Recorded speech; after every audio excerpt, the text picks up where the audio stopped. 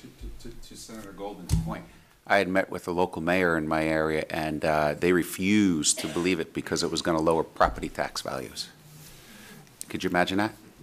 People are dying, and they were worried about that. So the stigma's got to go. The stigma has just got to go. We have really, really good people that have just gotten hooked, uh, you know, went down the wrong road. And, you know, everybody makes uh, mistakes in life. People do deserve second chances. And that's the whole idea of us gathering information and being able to reach out to our community and say, listen, this is a problem, we're addressing it. How do we address it? Give us your information. Let's see what we can roll out. Um, as far as the, the, the naloxone kits, uh, you know, with CVS, you know, I think they're now over the counter, 497 new CVSs that they're going to give over the counter.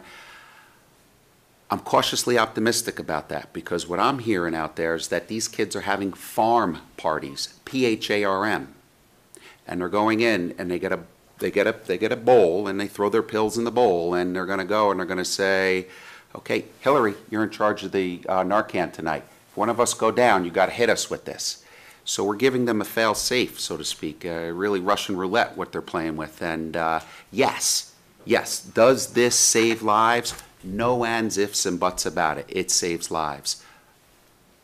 I don't want to see that these kids think or these people think that listen because I have a Narcan it's okay for me to uh, you know shoot up with the with the heroin or, or, or take these take these pills so you know I'm cautiously optimistic about about having that you know over the counter there's a standing script you know with Dr. Zucker who's our uh, DOH uh, commissioner um, you know he had uh, which I was surprised that he didn't really ask the task force, ask any one of us about, uh, you know, what are you hearing out there? What are you seeing out there with regards to the naloxone? We know it's a lifesaver. That's why we put it in our one House bill last year to make sure that we allowed the schools to have this. We allowed our first responders to, and it just exploded, absolutely exploded.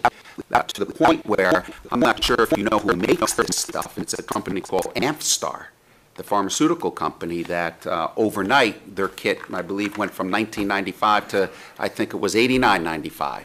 And uh, we had uh, wrote, wrote we had written a letter to uh, the Attorney General uh, Schneiderman and asked him to sit down with Mr. Cho, who's the CEO of that, and work up with some sort of agreement. And New York State gets a six dollar rebate for using one of these things. Um, we are putting uh, together a registry to make sure to find out, like Senator Amedore said. It is so important for us to have data and figure out where these are being used so we can dial into that area, specifically here in New York City, or specifically in Westchester, specifically in Albany or Erie County. So, yeah, these, it, it, it is a lifesaver, no ands, ifs, and buts about it. The stigma's got to come off, that's for sure. Dr. Connors, um, do you believe, do you feel that there's enough treatment in, within the city limits, the five boroughs, beds, types of, types of beds and services? So um, I think a a couple of things. One is um, we do have access to treatment that I know is much more robust than other parts of the state, just to acknowledge really a shortage of many services in other parts of the state. I think that there's a misconception uh, around what works as addiction treatment, and that the only thing that works, I think some families believe and some people believe, is to go far away to inpatient treatment uh, for long periods of time. And the risk there is that people come back to their communities and are exposed to some of the same stressors and problems that were sort of they were caught up in before they left. And so I think a main agenda is to really expand availability of services and the idea that people can get treatment near near their homes and in their own communities using a range of modalities. One thing that we've been, as you heard from my testimony, really quite preoccupied is making sure access to good pharmacotherapy or medication treatment, which in our field is often yes or no, not what do you need right now at this time. And so think our view is that we want to give people every advantage to get the most effective treatment for them at that time. Um, let me, I want to just make one quick comment about the naloxone, because I think, um, Senator Murphy, you raised a really important issue that I get a lot of questions about is, gee, if we start making naloxone available, are we going to unintentionally cause more drug use or more severe drug use? And I think that's a really important question because we certainly don't want to do that. That's not, that's, we have the opposite agenda. I think that we know from scientific studies, actually, that when you make naloxone widely available in a community, that in fact, at least in some of the studies, drug use actually goes down. Why? People actually think, gee, this is risky, and they're, whoever's giving it to them is educating them about the risks of drug use. And there's some evidence that people use drugs in a safer way, less often, less amount, and so forth. So we haven't seen that increase that I think that you know, many people raise this issue, and we are going to continue to look at that, certainly in the city. Um, and there's lots of good science happening around the country, and so it, we've not seen it so far.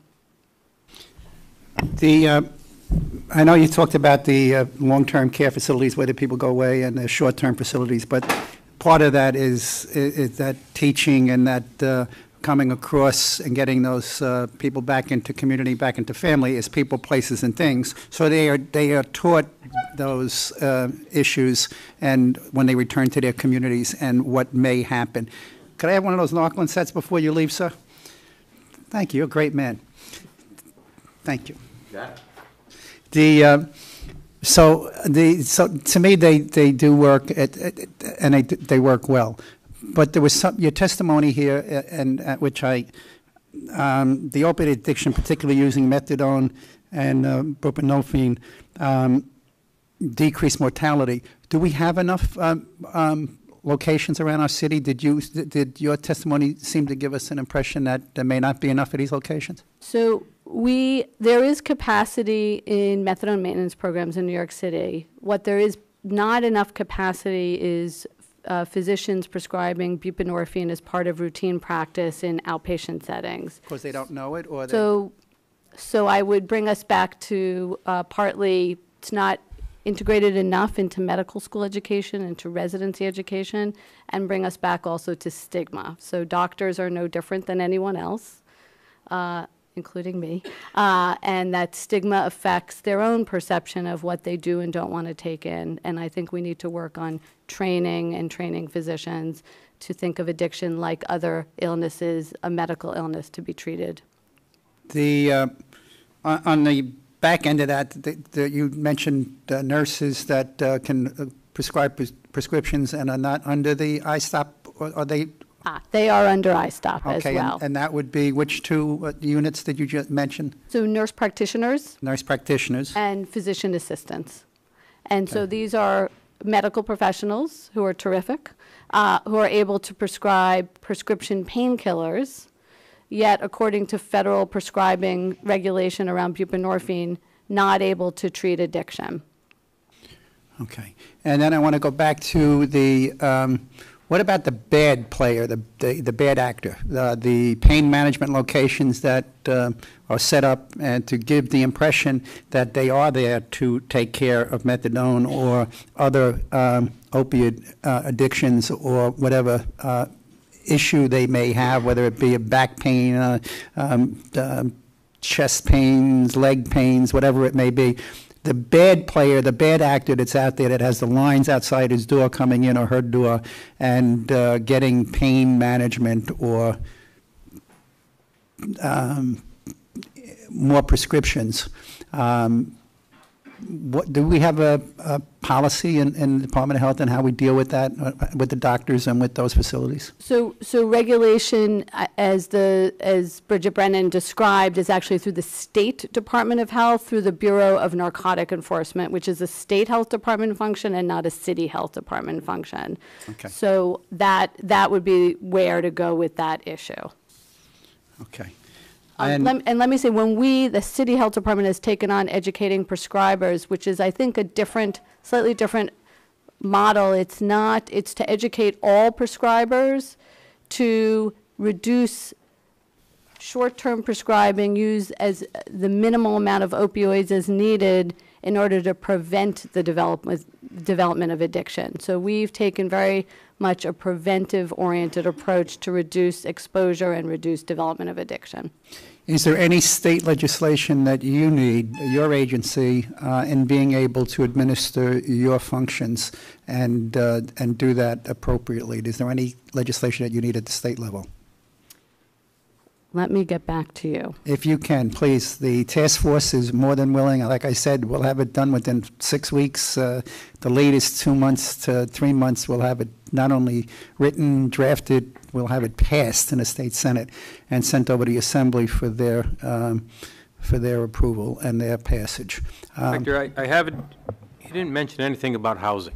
We talked a little bit about treatment, but part of the, I believe, the process of, of treatment, whether it's medically uh, assisted or not, it's, what about housing? I'm hearing a lot that there's not that transitional, that sober, that, that safe haven that someone who has go, is going through, or just right after, can't go home in many cases because of the effects of maybe the influence of friends or family. Um, What's the city doing about that? So I think part of the housing problem is also an affordable housing problem, and I know our administration is very actively working on that. One model that is very promising in terms of connecting housing and, and, and stability for people with addiction is the community residence idea. Um, That is a model, uh, OASAS, this is a state function, has just recently funded a new community residence in Staten Island, and I think that's a great model and example of, of how to move to more uh, therapeutically oriented housing uh, for people who need it, who have addictions. Thank you. We're going to go to the audience uh, with the Department of Health, and then we're going to come back and we're going to deal with the uh, the the testimony for Stephanie Campbell from Friends of Recovery. Any questions for the Department of Health and the City of New York from the audience?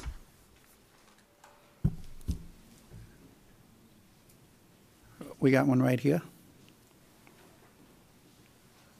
Hi, my name's Colin Hicks, and um, I'm a recovering heroin addict. Um, I'm in recovery now for two years. I'm two years clean, just about. Congratulations. And thank you. And um,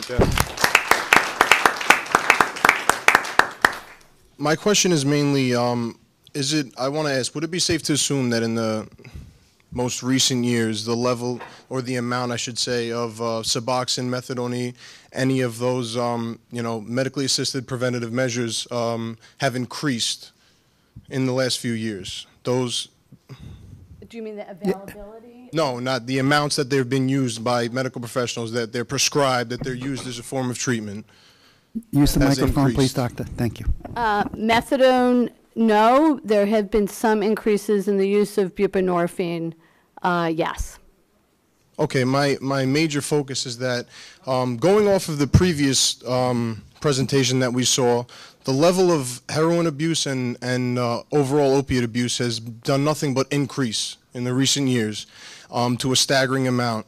And um, my question more so is uh, maybe outside of your area of, res- of responsibility, but I personally believe that too much emphasis may, might be put on this as um, a go-to treatment uh, for something like this. Um, to me, it seems more like you know um, an acute treatment for a chronic disease. You know, it doesn't really do much. Um, we talked about eliminating the stigma that surrounds this, and I feel like this, you know, these treatments do nothing but enforce that stigma because instead of going out to seek the help that can really change some of these people's lives, um, they say, oh, well, we can go to the doctor and just take a pill, or you can take this Suboxone and it'll go away, and, you know, our families and friends won't have to know about it, and you can go on with your life and pretend that this isn't an issue anymore, um, when in fact it is an issue. Um, I myself have tried these measures in the past, and they did nothing but prolong my abuse and make it to a point where I thought it was uh, almost acceptable, that I can almost live with it. Um, and it wasn't until I got to the point where I had to embrace the idea that uh, complete abstinence was the only way possible to get over this. And obviously, I had to eliminate some stigma issues in my life in order to do that. Um, but I think that you know, we can all agree that that stigma is one of the biggest things that stands in the way of, of us really attacking this, this, this issue head on.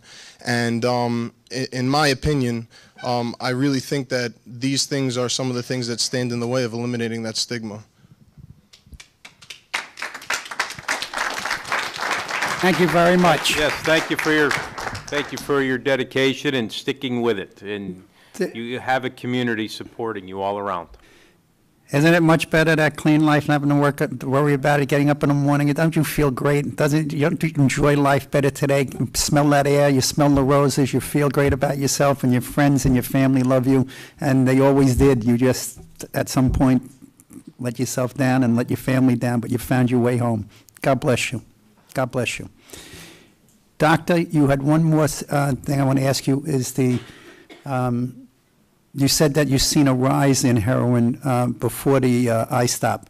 Uh, How much of a rise did you see in that, and when when did, uh, I can't speak year, I don't have the year-by-year statistics. I think that we uh, believe that, as, and you've heard this story today, is people get exposed to prescription painkillers, develop an addiction, uh, find their way to heroin, which is sometimes available it's the same, at- yeah. Cheaper. And so that progression, regardless of I-STOP, was beginning to happen in New York City and other places. But we know this from the rise in mortality from heroin even before I-STOP actually went into effect.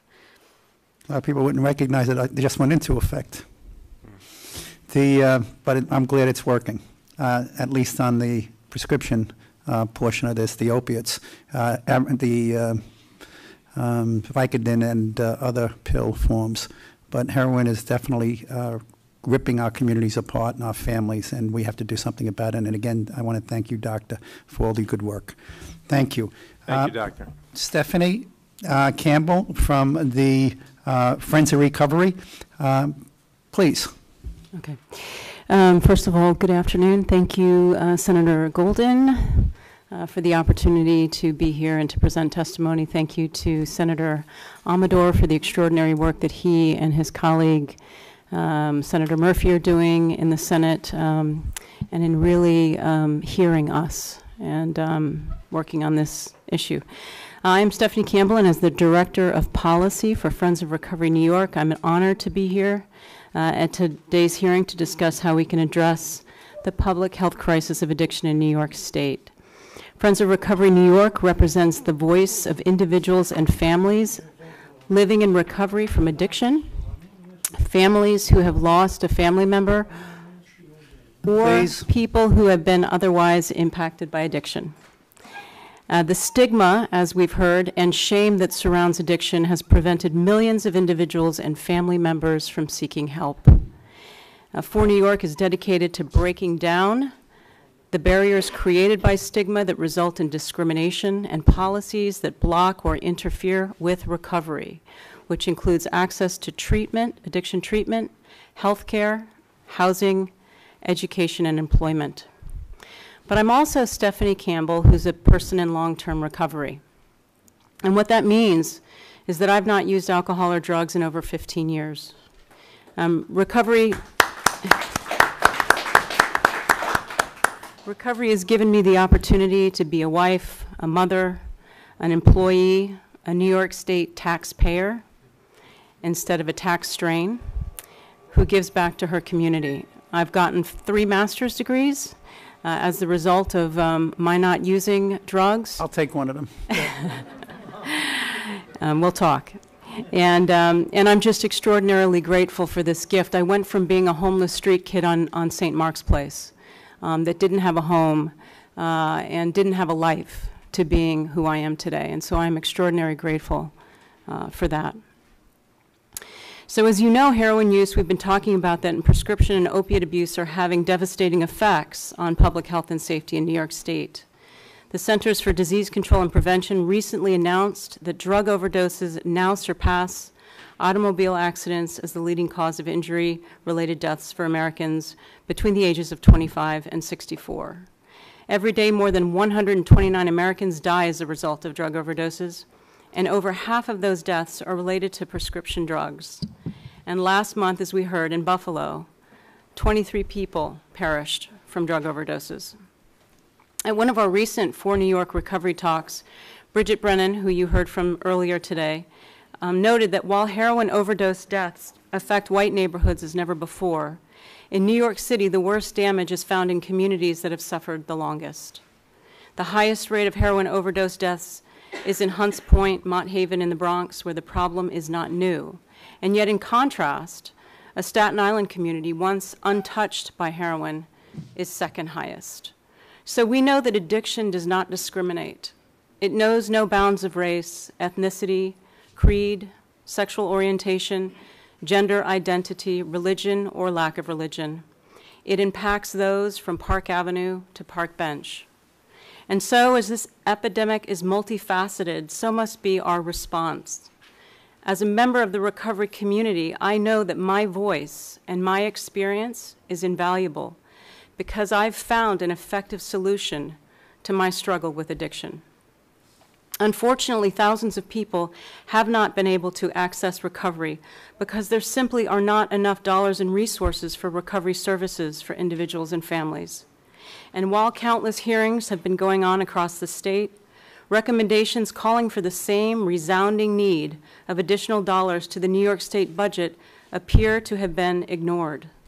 Little is being done to address the overwhelming evidence that shows that community-based recovery services and peer supports are needed to help individuals with addiction build and sustain their recovery.